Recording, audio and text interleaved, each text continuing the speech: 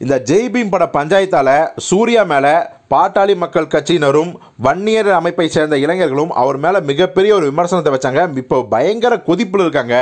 So சூர்யாவுக்கு துப்பாக்கி ஏந்திய காவலர்களை பாதுகாப்புக்காக அழிச்சிருக்காங்க.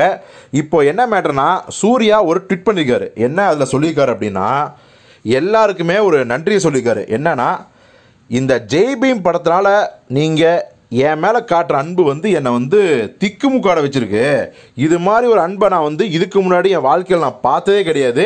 இதுக்கு எப்படிலாம் நன்றி சொல்லுவேன் அப்படிங்கிறதுக்கு வார்த்தையே கிடையாது. இப்போவும் சொல்கிறேன் நீங்கள் என் மேலே வைக்க நன் வச்சுருக்க நம்பிக்கையும் நன்மதிப்பும் எனக்கு வந்து மிகப்பெரிய ஒரு மகிழ்ச்சியை தருது.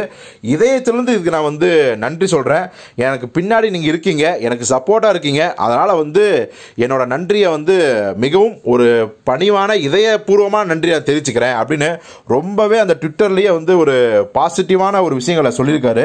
ஸோ இதனால் சூர்யாவுக்கு சப்போர்ட் பண்ணுறவங்களும் சரி அவரோட ரசிகர்களும் சரி ரொம்பவே ஒரு பாசிட்டிவ் எனர்ஜியோடு இருக்காங்க.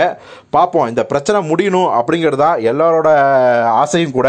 தேவையில்லாமல் இதுக்கு தூபம் போட்டு தூபம் போட்டு பெருசு பண்ணுறது சரியில்லை. ஸோ சூர்யா மாதிரியே பாசிட்டிவாக அதை ஹேண்டில் பண்ணாங்கன்னா கண்டிப்பாக இந்த பிரச்சனைக்கு ஒரு முற்றுப்புள்ளி வரும். இதை வந்து அந்த எதிர்த்தரப்பணும் வந்து சரி விட்டுறலாம் அப்படின்னு விட்டுட்டா எல்லாருக்குமே நல்லது. இது ஒரு சினிமா தானே அப்படின்னு தான் இண்டஸ்ட்ரிகளுக்கும் சரி பொதுமக்களும் சரி கருத்து தெரிவிச்சிருக்காங்க. பார்ப்போம் இது மேற்கொண்டு என்ன ஆகுதுங்கிறது. இந்த செய்தி உங்களுக்கு பிடிச்சிச்சுன்னா லைக் பண்ணுங்கள் இது பற்றி கருத்தை கமெண்ட் பாக்ஸில் தெரியுங்க உங்கள் ஃப்ரெண்ட்ஸுக்கு ஷேர் பண்ணுங்கள் இது மட்டும் சுவையான தமிழ் சினிமா செய்திகளுக்கு மீடியா தர்பார் சேனலை சப்ஸ்கிரைப் பண்ணுங்கள் நன்றி வணக்கம்.